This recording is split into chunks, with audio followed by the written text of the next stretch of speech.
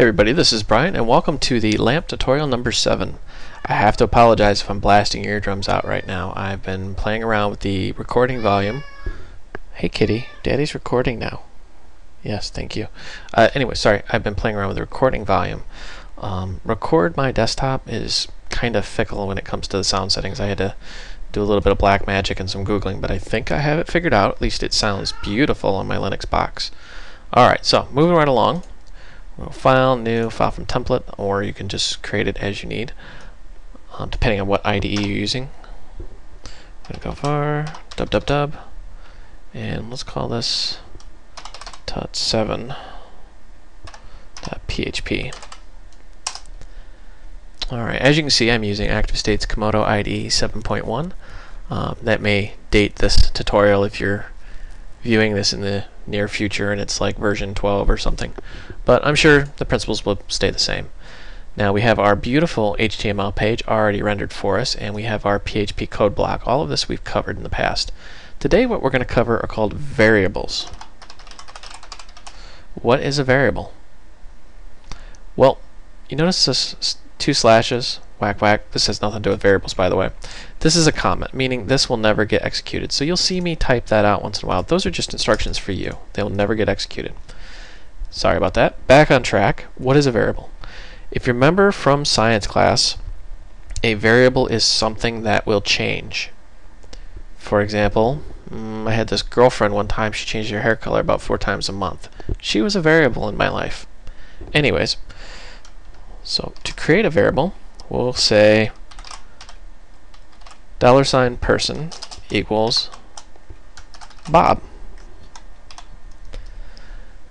A variable is simply a label, something that you assign a meaning to or a value to.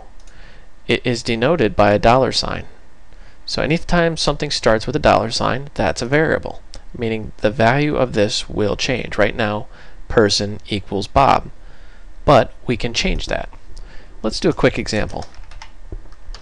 We're going to echo out. Maybe if I can find my dollar sign here. There it is. Person. And you gotta love the power of IntelliSense. Save this, and let's just view this.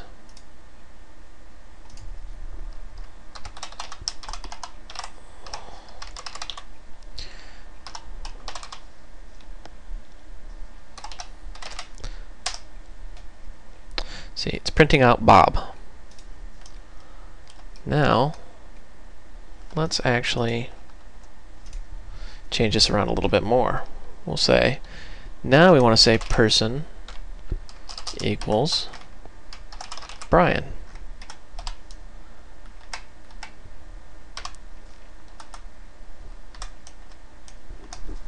Then we're just going to echo this out.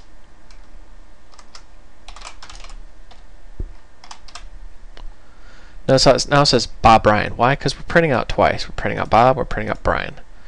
If we simply um, echo out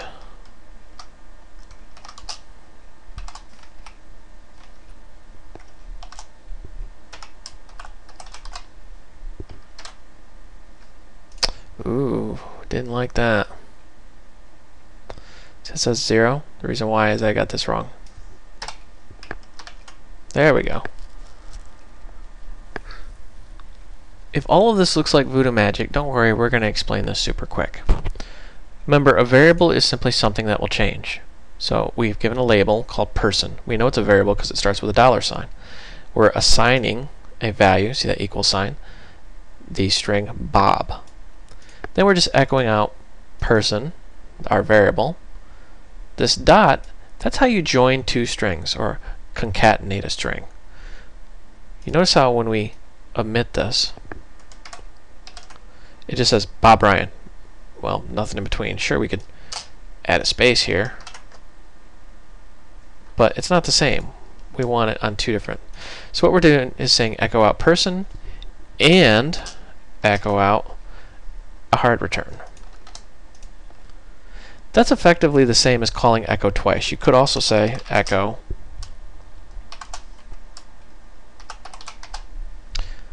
So think of that little period as a shortcut.